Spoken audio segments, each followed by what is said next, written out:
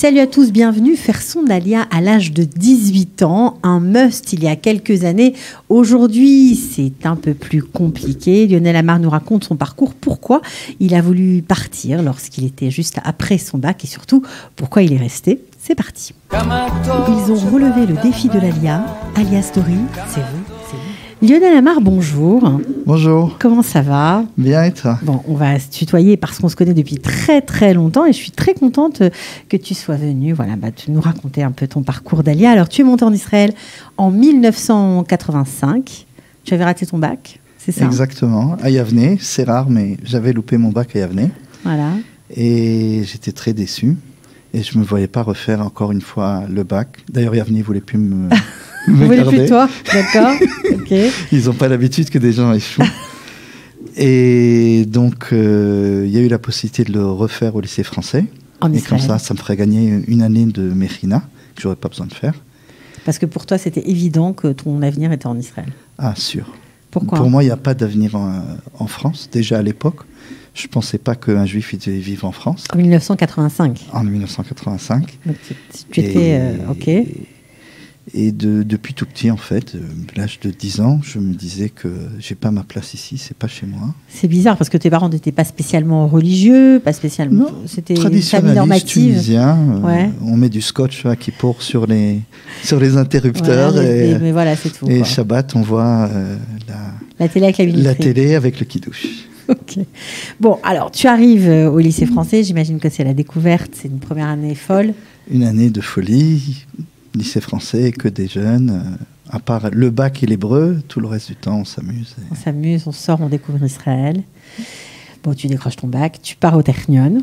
Oui. Donc, euh, comme quoi, euh, voilà, il n'y a pas, y a pas de des choses qui sont euh, définitives ici. Tout est possible. Donc, tu vas étudier au Technion Calcala-Vignoul pendant 4 ans. 4 ans. C'est- 4 ans aussi très agréable au Technion. Ah, très agréable parce qu'en général, on sait que ce sont des études difficiles. On bosse dur. Je Ouais. n'ai pas dit qu'on bossait pas dur, mais comme on a l'av- l'avantage d'avoir les études payées, alors nous on ne travaille pas pour se payer les études. Oui, parce que c'était on pris en charge par un l'agent une juif. Et, et donc on a quand même du temps pour euh, bien profiter euh, de connaître la vie euh, étudiante. Aussi, j'ai participé euh, à la création de Maxime Vatenu, le CNEF aujourd'hui. Ouais.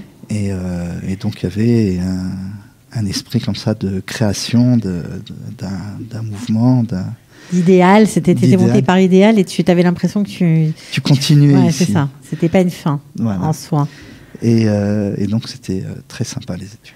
Alors, c'est un conseil à donner aux jeunes, parce qu'il y a beaucoup de jeunes aujourd'hui euh, qui se disent euh, c'est très compliqué de venir en Israël, on va pas gagner d'argent, on va pas travailler, comme on n'aura pas la même situation qu'on aura en France, comme s'ils faisaient complètement abstraction de la situation euh, euh, difficile, on va dire quand même pour, euh, pour les Juifs de France, compliquée, en tout cas de l'atmosphère, et que pour eux, euh, je pense aussi aux, aux- jeunes dans les écoles juives que j'ai eu l'occasion de rencontrer il n'y a pas très longtemps, l'avenir ici.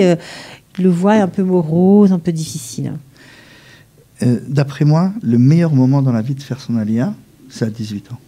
Pourquoi? Pourquoi? Parce que on apprend la langue tranquillement pendant les années de fac. Et, et après, on a appris la mentalité israélienne, on a compris le monde du travail ici, et on sera capable de travailler en hébreu. Quand les gens, ils arrivent après, à 30 ans, ils doivent travailler tout de suite pour nourrir leur famille, ils doivent apprendre la langue, et ils doivent comprendre la mentalité, C'est multiplier les difficultés. c'est multiplier les difficultés. Ouais. Donc l'idéal pour les jeunes, c'est d'arriver ici à 18 ans. C'est vrai qu'il faut quitter papa et maman. Et c'est vrai qu'en France, on est un peu lent au niveau de la maturité. Mais euh, c'est- Tu, tu penses que c'est les parents ont une responsabilité aujourd'hui quand euh, leurs enfants veulent faire euh, s'engager en tout cas euh, dans de longues études, euh, médecine euh, par exemple, ou, euh, ou euh, d'autres études assez, euh, assez longues, de s'engager en France, c'est, les parents ont une responsabilité là-dedans ce Ils ont choix une responsabilité, mais les, les choses se font pas à la dernière minute. La responsabilité, c'est une éducation sioniste et claire à la maison dès le plus jeune âge. Mhm. Le drapeau d'Israël, les fêtes de Yom route, on vient toutes les vacances en Israël. Bah, c'est pas toujours facile. Certains On- n'ont pas assez les moyens de le faire. On... C'est pas évident. euh, c'est pas évident, c'est pas évident, mais euh, au moins ceux qui vont à la Côte d'Azur et à Deauville, qui viennent ici en Israël, euh, Ouais, pour, toi, pour toi, les parents doivent, doivent montrer le chemin. Quoi. Ils doivent montrer le chemin, doivent montrer l'importance, la centralité d'Israël pour eux, même si pour l'instant ils ne peuvent pas, et de dire, c'est sûr, mon fils, que ton avenir, il est là-bas. Mhm. Et donc, quand on éduque comme ça, alors l'enfant, de manière plus naturelle, il aura, il aura une chance d'aller en Israël.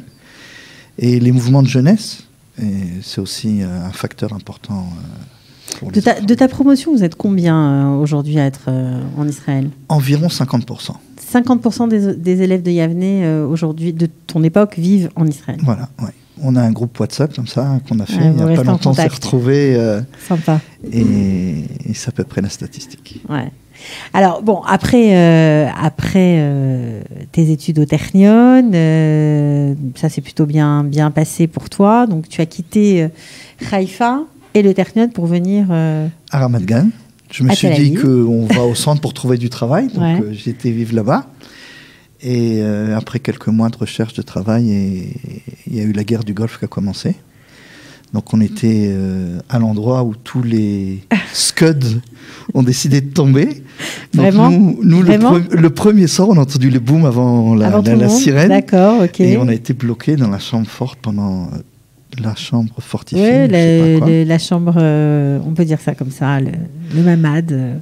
Euh. Voilà, euh, on a été pendant plus de deux heures, trois heures là-bas, comme ça, sans bouger, jusqu'à ce qu'ils nous ont donné la possibilité de sortir. Et On quoi, est- tous les jours? À chaque fois Non, ça non, la première Ah, la fois, première après, on a après. compris comment ça se passe, euh, Ouais. c'était vachement plus cool. Mais le Mais pre- ça tombait vraiment. euh, tout autour. Je dirais- on dirait que c'est moi qu'on visait comme ça, puis tout autour, il y a- t'avais les booms.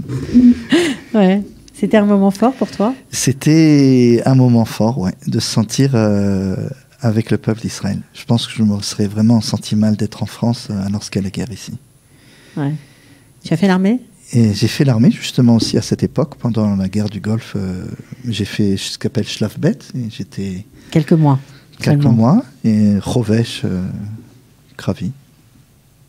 Ok. Et ça dit un euh, secouriste. ça, veut euh, dire un infirmier euh, combattant. Voilà. Voilà, je traduis, je traduis, infirmier combattant. Alors après tout ça, euh, donc tout ça, tu, tu appartiens au peuple d'Israël. Tu, tu, c'était important pour toi de vivre en même temps, euh, au même rythme que toute la société. Euh, tu trouves du boulot au Mérès, à Jérusalem, donc tu redéménages, tu viens habiter euh, à Jérusalem. Et puis les choses avancent, le temps avance. Tu as plusieurs postes hein, aux impôts où tu travailles toujours d'ailleurs. Jusqu'à maintenant. Voilà, aujourd'hui tu euh, tu t'occupes des systèmes d'information. Exactement. Euh, et pendant cette euh, période, on arrive dans les années 90, 92, donc avant Oslo, l'atmosphère était un peu électrique à Jérusalem. Beaucoup de manifestations. Beaucoup de manifestations, beaucoup de, de, de- de craintes en fait, euh, qu'on qu'on perde une partie du, du pays.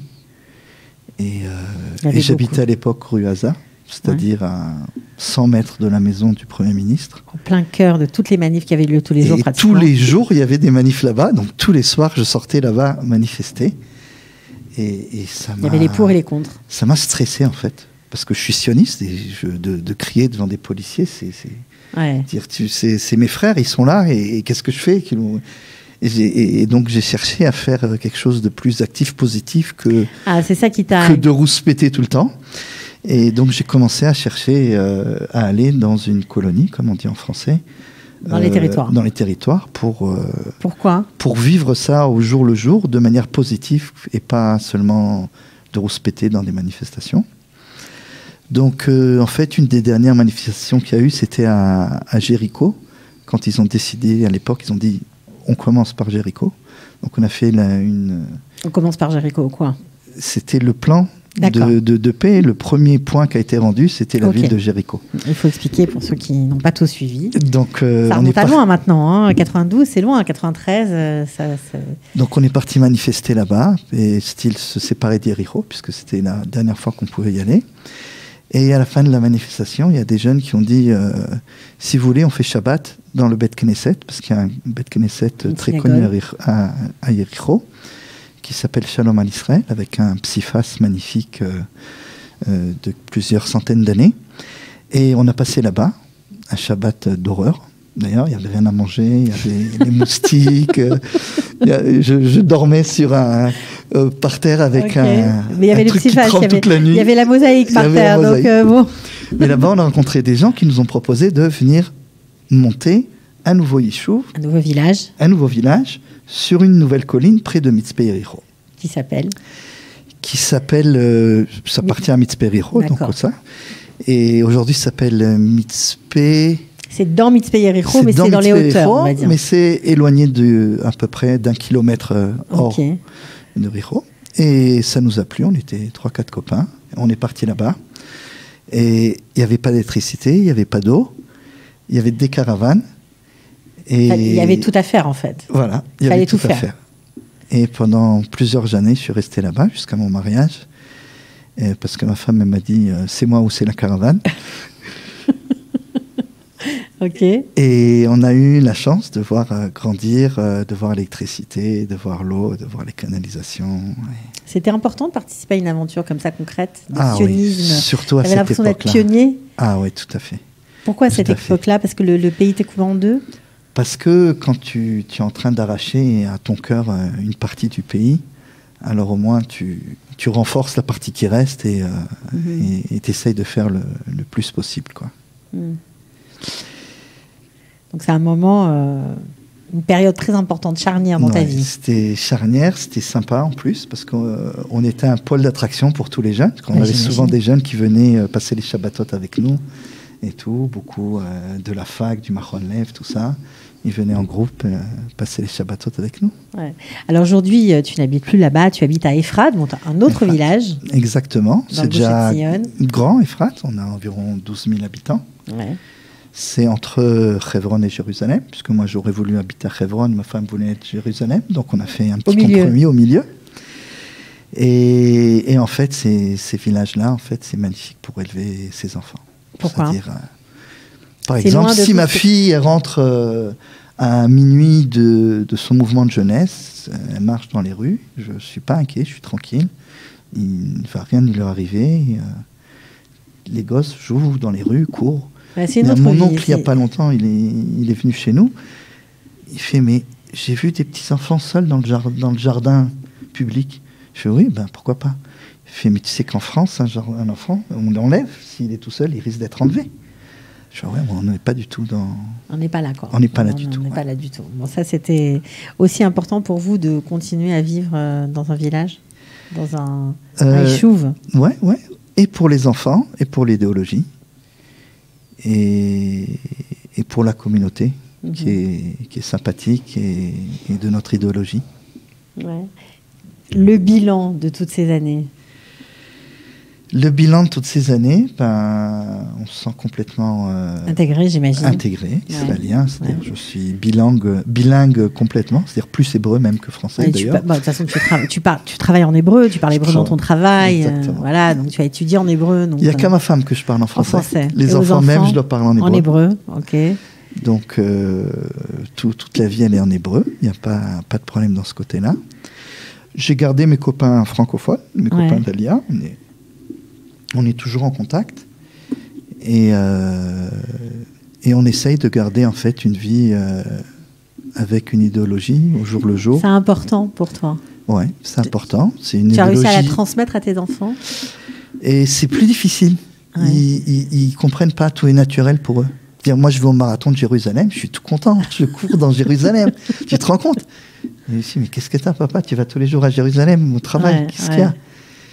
Et. Qu'est-ce qui t'émeut encore à part justement courir Ah, mais moi, pour les le- trucs le- simples comme ça, c'est-à-dire le drapeau d'Israël, Yom HaAtzmaut, la Tikva, tous les trucs comme ça, moi, je, L'armée. l'armée, ah, mon fils il rentre là à la maison avec son, son uniforme, bah, je suis tout content. Ouais, c'est une fierté. Ah, c'est une fierté. En plus, cette semaine, c'était son anniversaire. Il a lu toute la paracha. Et soldat, et qu'il lit toute la paracha. C'est magnifique. C'est magnifique. Il n'y a plus qu'il se marie, et puis tout ira bien. Ouais, ça va bientôt venir. Alors, euh, bon, bah écoute, on était content d'avoir partagé un, un petit, voilà, un petit moment avec toi pour ce parcours d'Alia, pour euh, donner peut-être envie à d'autres bah, de faire, de faire pareil. Ça a été difficile ou, ou ça a été. On a l'impression que c'était naturel pour toi? Exactement. C'est-à-dire, je, je suis un peu gêné de le dire, mais, non, non, euh, comme un, un fleuve tranquille c'était naturel.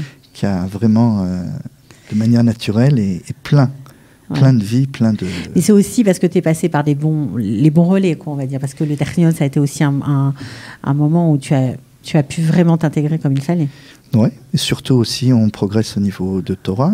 Bien sûr. Zini, au Ternion à l'époque, il était. Et on a beaucoup appris, on a progressé avec le temps. Et euh, de la famille traditionnaliste, on est devenu beaucoup plus, Plus euh, sérieux et pratiquant. Mm, On, on l'entend. Ben, plein de bonnes choses en tout cas, Lionel. Merci beaucoup. Et à très bientôt. À bientôt. Ciao, ciao, bye. Ils ont relevé le défi de l'ALIA. ALIA Story, c'est vous, c'est nous.